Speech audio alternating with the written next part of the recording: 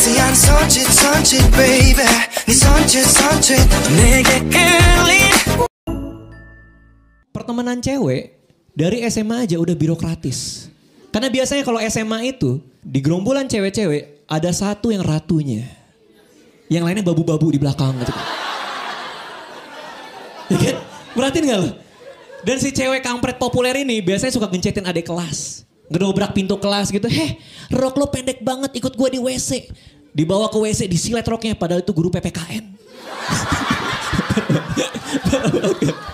Parah banget kan?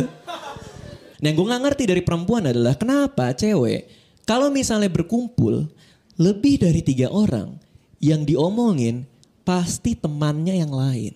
Temannya sendiri, sahabatnya sendiri. Ini ya kemarin gue nulis materi ini di Barbera Cafe di Kemang Village lantai 2. Gue duduk di sana. Pas gue lagi nulis, gue lagi nulis materi gitu kan. Tiba-tiba gue ngeliat ada segerombolan cewek-cewek, empat orang. Duduk di meja depan gue. Gue dengerin, dengerin, dengerin. Dan ternyata mereka lagi ngomongin Sandra, temennya dia. Sumpah, gue 30 menit duduk di sana. Gue hafal semua dosa Sandra. Gue lagi nulis materi udah kayak buku dosa Sandra tau gak tuh. Di hari kiamat bisa gue bawa tuh. Gue bacain.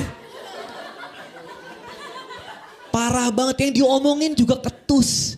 Gak tega gue, gue jadi pengen denger terus.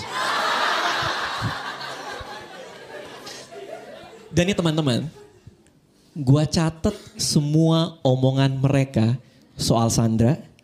Gue pilih lima dan akan gue bacakan hari ini.